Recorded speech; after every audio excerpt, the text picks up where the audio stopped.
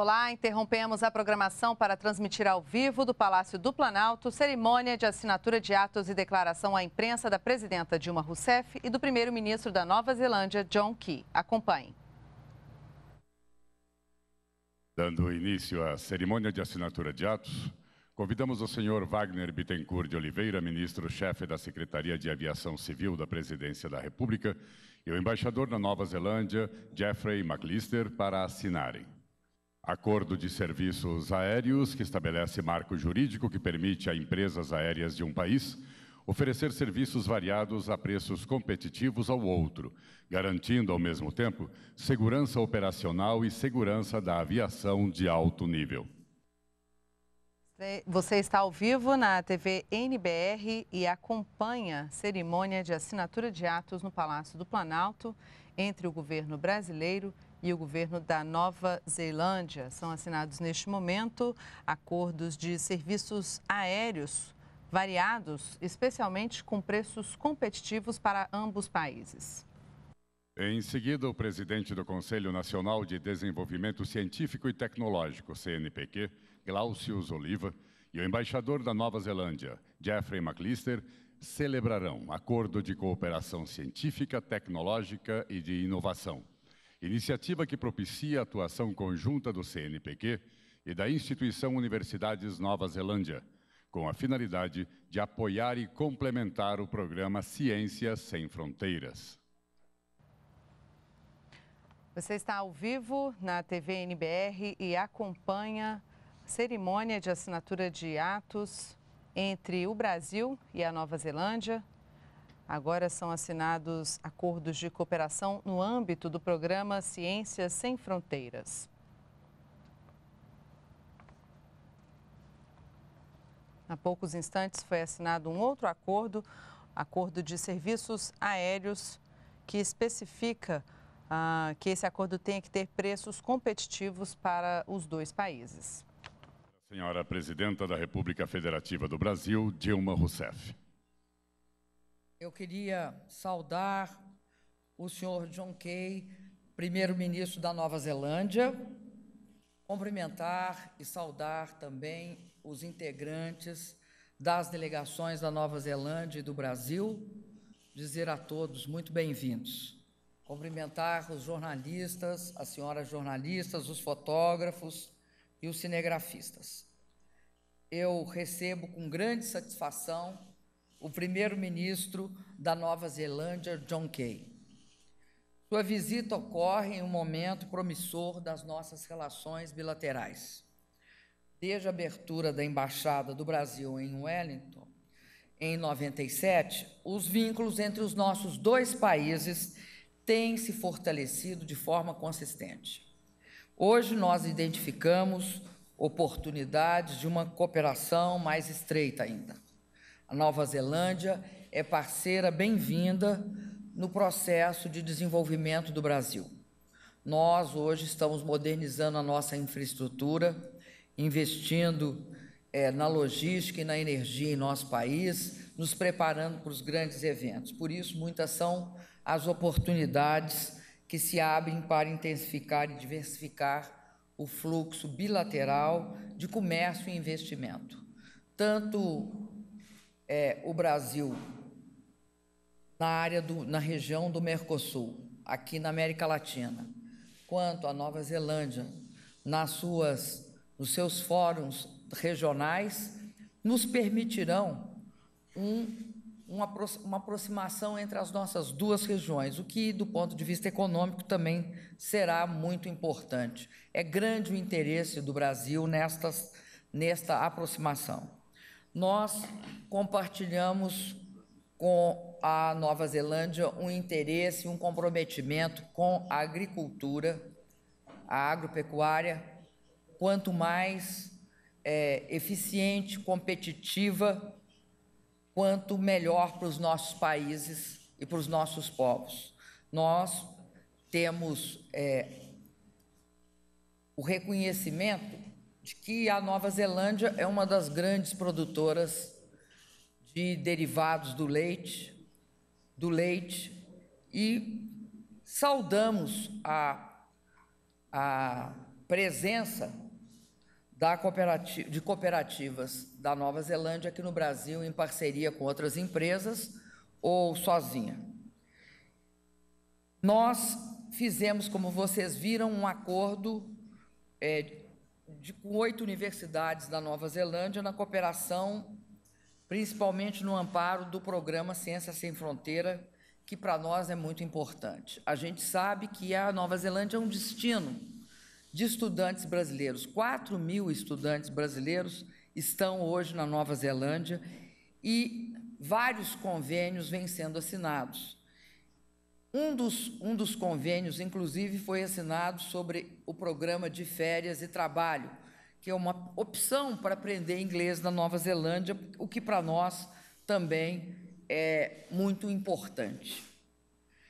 Assinamos hoje o acordo de serviços aéreos, que vai contribuir para a conexão entre os nossos países. Somos países distantes. E essa, essa, essa providência é uma providência necessária a qualquer aproximação, porque ela nos colocará como se fosse uma ponte que ligarão países tão distantes. Eu acredito que outra área importante, e o primeiro-ministro é um especialista nessa questão do turismo, e esta, essa parceria em seja é estreitar ainda mais as nossas relações nesse campo. Para nós, é muito importante também na área dos esportes a questão, da, da, a questão do rugby, porque tanto que equipes femininas como equipes masculinas de rugby serão muito bem-vindas na nossa Olimpíada. A nossa Olimpíada, pela primeira vez, as, aliás, a Olimpíada aqui no Brasil, pela primeira vez, vai, vai é, incorporar isso. Então, também essa é uma parceria muito importante. Acredito também que, apesar da distância geográfica que nos separa, o Brasil e a Nova Zelândia têm grandes, têm grandes valores que compartilham valores culturais, valores éticos e valores morais, sobretudo em matéria de democracia, de desenvolvimento sustentável, de direitos humanos, de paz e de segurança coletiva. Somos também países que têm uma relação muito especial no que se refere à questão das armas nucleares. Somos regiões e países livres de armas nucleares. Nós partilhamos dos objetivos de reforma da ONU e acredito que a presença da Nova Zelândia como parceiro, como é, representação não permanente no Conselho, é algo que o Brasil considera apoiar. Nós também sabemos que tanto o Brasil quanto a Nova Zelândia têm interesses a construir nas nossas regiões. A Nova Zelândia aqui na América Latina, porque a América Latina é um continente de oportunidades, e sem dúvida o Brasil naquela região da Ásia e do Pacífico. E nesse momento em que a crise internacional afetou os maiores mercados do mundo, como é o caso da, da Europa, nada mais oportuno que nós cooperemos no sentido de viabilizar, através e por meio dessa cooperação, uma efetiva ampliação das nossas oportunidades comerciais e de investimento. Nesse sentido, eu queria dizer que para o Brasil, essa visita do primeiro-ministro é algo muito importante é algo importante não só porque estreita a relação entre os nossos povos, mas também porque cria mais um patamar na ampliação desse, dessas relações. Por isso, eu queria dizer ao primeiro-ministro que ele seja muito bem-vindo, que a viagem seja muito produtiva e acredito que nós iremos aprofundar cada vez mais a nossa cooperação. Com a palavra, o primeiro-ministro da Nova Zelândia, John Key.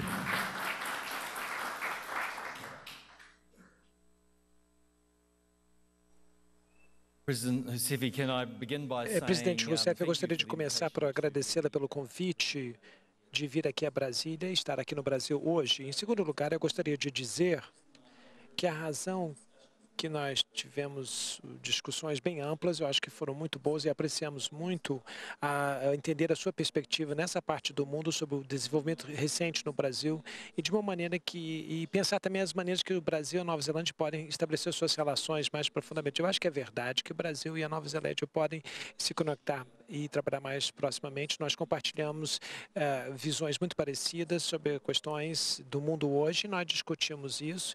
Eu não preciso repetir os comentários da presidente, mas nós vimos nos últimos anos que a, a empresa da Nova Zelândia estão tendo cada vez mais interesse no Brasil e querem e vir aqui se juntar à, à comunidade empresarial no Brasil. E dado o tamanho da população do Brasil e a liderança que o Brasil tem tido na América Latina, e a posição predominante que a sua economia tem em escala mundial, eu acho que há muitos motivos para nós é, nos aproximarmos e trabalharmos em conjunto. Como a senhora eh, ressaltou, nós assinamos as declarações de hoje, as oportunidades de desenvolver a área de educação é um ponto crítico e nós realmente damos as boas-vindas ao programa de Ciência Sem Fronteira e nós também vamos poder desfrutar a oportunidade de desempenhar um papel na área educacional para estudantes, tanto a nível do doutorado quanto a nível da graduação, como também nós gostamos muito é, é, como nós temos hoje, há muitos estudantes brasileiros em escolas nossas. Os seus jovens brasileiros são muito populares na Nova Zelândia. Nós vemos a destinação de turismo para a Nova Zelândia do Brasil. Os jovens trabalham muito, gostam muito do nosso país, se divertem na Nova Zelândia. Então, esperamos estender mais um pouco esses programas para jovens brasileiros que estudam é, na Nova Zelândia e trabalham lá um pouquinho durante as férias e que são muito empolgados no seu trabalho, no que elas fazem. Quando eles tiverem, então, mais oportunidades mais tempo na Nova Zelândia. Eu acho que é certo a gente assinar é, os nossos acordos. Um dos grandes fatores que eh, tem levado a a conectividade entre o Brasil e a Nova Zelândia são alguns dos serviços que precisam desenvolver. É, e se nós podemos é, encorajar o serviço aéreo entre os dois países e nós podemos ver que isso pode... Tem cada vez mais gente da Nova Zelândia no Brasil e vice-versa. O Brasil é a destinação número um para os que vêm da Nova Zelândia para a América Latina. Portanto, eu acho que nós vamos ver mais nos próximos anos. É claro, vocês vão ter a, a, a Copa das Confederações, a Copa do Mundo no ano que vem, a Rio 2016, a Olimpíadas de 2016. Isso vai ser muito importante é, e vai botar o Brasil no radar para os da Nova Zelândia. Nós desejamos a você que vocês tenham uma tranquilidade para sediar a Copa do Mundo e a Confederação da Copa e nós apreciamos muito ser um esporte, que um país que, que nós gostamos muito de ver que o time do brasileiro tenha muito sucesso na Copa do Mundo e tanto na Confederação da, da na, na, Copa das Confederações, nós desejamos um bom, um ótimo sucesso para o Brasil. Nós somos países, queremos ver a liberalização das regras do comércio internacional, queremos que isso, uh, e nós discutimos um pouco isso no nosso encontro, e você está muito bem-vindo a visitar nosso país a qualquer hora. Seria muito bom vê-la a visitar nosso país, porque para Nova Zelândia você possa entender melhor as plenas oportunidades que existem entre o Brasil e a Nova Zelândia. Nós sabemos que temos desafios, todos os países têm desafios, mas vocês já conseguiram resultados extraordinários para o Brasil. Nesses últimos anos, nós é, nós tivemos crescimento econômico, diminuição das desigualdades sociais, controle da inflação. É, então, vocês mostraram uma liderança econômica e que é muito importante. Portanto, isso tem sido uma visita muito importante, essa minha aqui. E, e foi, eu sei que a senhora está muito ocupada, que é uma época, mas a nossa conversa foi muito frutífera e, e, e nós compartilhamos isso. Muito obrigado. Está encerrada esta cerimônia. Você acompanhou ao vivo de Brasília a cerimônia de assinatura de atos e declaração à imprensa pela presidenta Dilma Rousseff e pelo primeiro-ministro John Key. Os dois países assinaram acordos de serviços aéreos com preços competitivos e no âmbito do programa Ciências Sem Fronteiras. Segundo a presidenta Dilma, cerca de 4 mil estudantes brasileiros estão estudando na Nova Zelândia e o país é destino de quem quer aprender a língua inglesa. E nós podemos voltar a qualquer momento. Continue na NBR e a TV do Governo Federal.